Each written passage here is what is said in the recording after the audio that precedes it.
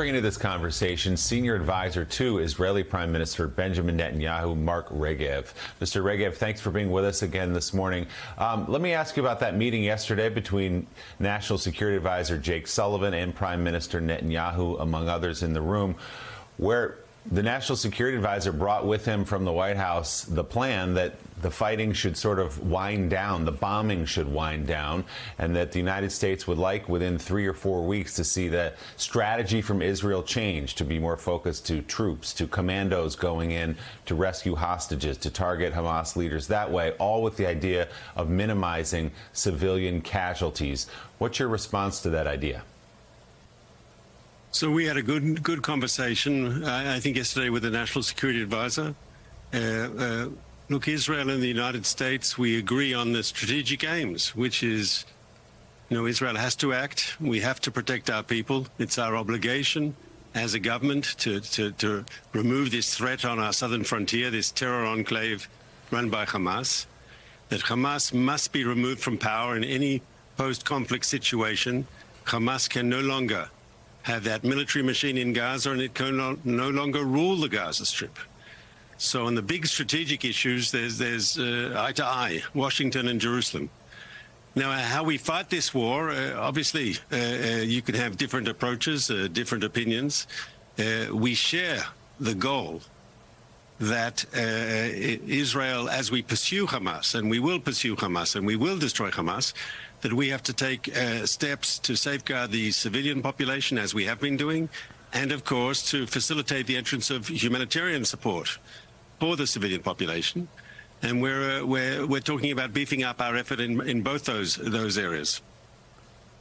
So, Mr. Regev, we'll stipulate again, as we do every time we talk about this, that Hamas uses civilians. It puts civilians between itself and Israeli bombs. That is a strategy. That's no secret. So, part of the reason civilians are dying is that. But would you agree that too many civilians are dying and that a change of strategy, as proposed by the United States, would be a good idea to minimize civilian casualties in this war?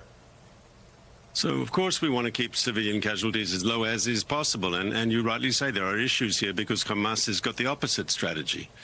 But uh, I think what we were seeing in the numbers recently, we're seeing the, the numbers of civilian casualties going down. That's because fighting is winding up in the north and in the south. Uh, the introduction of uh, the ground forces has allowed us to be even more surgical. And our goal, once again, is to get those civilian casualties as low as is possible while pursuing the fight against Hamas. And, and you asked me about a timeline. It's important that we finish this uh, uh, correctly. Because to finish this with, with Hamas still in power, that's, that's obviously just a band aid solution. Uh, you know, Hamas says openly that they would uh, uh, attack Israel again, given the capability, given the opportunity. They would do another October 7th. They'd do it again and again and again, their words. And so it's it's crucial that this ends with a, a, a, decisive defeat for Hamas, that their military machine is destroyed, and that there's a new reality in Gaza. Uh, I think anything short of that, it means that everything that we've, what we've gone through has been wasted. It's important that we finish this uh, and achieve our goals. And the timing for that we can discuss, but it's crucial that the, goals are met. So, uh, Mark, this is David Ignatius in Washington. Just two two questions I wanted to ask. Uh, first, um, is it possible that you could move to a new phase in the campaign that you're describing to destroy Hamas's political power that would be, uh, as U.S. officials have said, more precise, more surgical, uh, more of your commando units, more intelligence driven, fewer uh, uh, uh bombing uh, tank attacks? That's the first question. And then the second question involves whether Israel might be prepared at some point, under some conditions, to renew the talks through Qatar with Hamas. It's been reported that David Barnea, your Mossad chief, was ready to go back to Doha and continue those talks, but there was a basically a political decision. No, we're not going to do that now. When might those talks resume? So, on the first question about the stages, so it's important to finish the current stage correctly before you go on to the next stage. And it's clear we've now got a stage of intensive fighting And when we have achieved the goals of that stage, uh, uh, we can move to the more the counterinsurgency stage, the, the stage that you've referred to, which is the um, uh, uh, the stage of using maybe more commando forces and based on intelligence and so forth. Uh, uh, but we have to finish the current stage. We have to be able to deal with these battalions of Hamas fighters that are still active in the south. you know, in the north, things are moving ahead very, very well. Uh, we've had uh, surrenders. Uh, more and more Hamas uh, terrorists are surrendering. They're coming out, their hands raised, their, their rifles, their AK-47s held over their head. That's good. We're seeing uh, the Hamas military machine in northern Gaza break. It's only a matter of time that that happens in the south. And it, as, as those events, uh, you know, move ahead, then we can move to the next stage. But it's important to finish the current stage before going to the next stage. On the second question about the hostages, obviously releasing the hostages, getting them out is, is crucial for Israel. It's one of our central aims. And if there was a serious proposal on the table for a release of hostages, as we've done in the past, we would not let that go by the wayside. The question is, is there, a, is there such a serious proposal on the table? And there are always discussions. It came up in the meeting yesterday with the National Security Advisor, with Sullivan. Uh, Israel will not uh, let a, a, serious opportunity for the release of hostages uh, go, you know, no, go unanswered. You know, I just want to jump in. You know, it's it it's easy to. You can't be a human and not say, of course, we don't want innocent civilians killed. But this is war.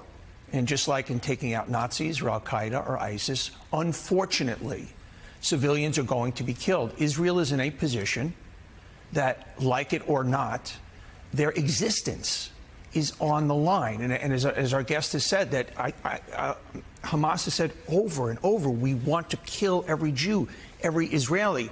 And no other country in a wartime situation is put in the same position as Israel. There were innocent Germans who died because the Nazis had to be killed. Hamas has to be killed. If New Jersey was Hamas and New York was Israel, and New Jersey was saying to New York, we are going to obliterate you, would New York be under the same conditions to oh, we have to do it, you know, surgically. Of course, Israel wants to do it surgically. Israel is not dumb. Israel knows it's Israel is hurting their brand, and Israel is also built on humanity. It is a Western civilized culture. And I just keep coming back to this is a Rubik's Cube. We want Israel to defend itself. Israel has a right to defend itself. Yet, if there are innocent civilians killed, somehow it backfires on Israel. This is war. It's horrible. It's terrible. But I don't know what Israel's choices are, actually.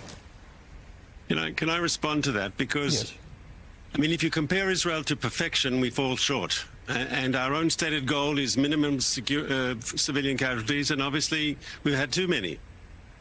But I think if you compare what the Israel Defense Forces are doing with Gaza and the steps that we're taking, and you compare that with other real world situations where people have been fighting terrorists in urban built up areas, whether in the struggle against ISIS in uh, Iraq or in Syria, they're the most recent examples.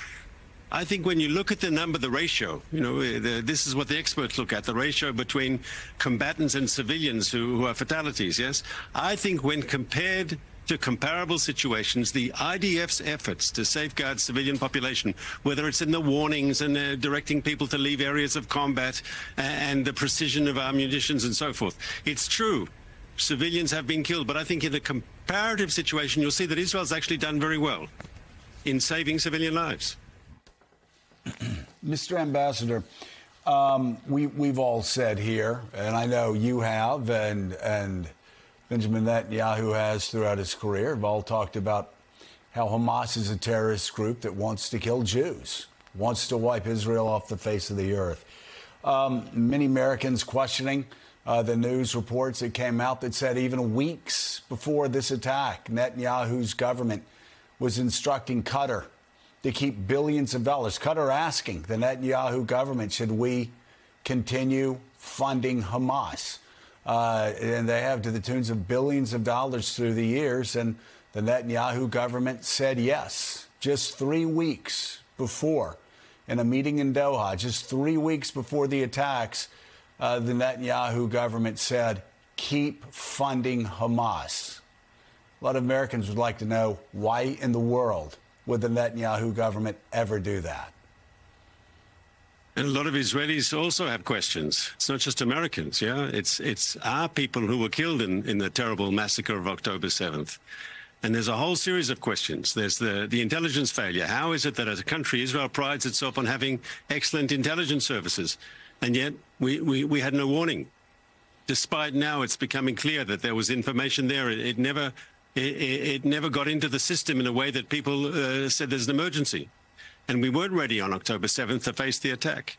Then there are questions of how did they cross the fence and, and, and enter our communities? What happened to the defenses on the ground? And there are questions how long did it take the IDF to get there to those places and save the people who could be saved and take control of our territory again? There's a whole series of questions. And of course, you're right in asking uh, what did the, the Prime Minister know? When did he know it? Uh, the head of the army, the head of military intelligence, the head of the Shin Bet, uh, and you go all the way down to the Southern Command that faces the soldiers who face Gaza. So there are all these questions will have to be asked. But uh, as, as David knows, uh, uh we had a similar.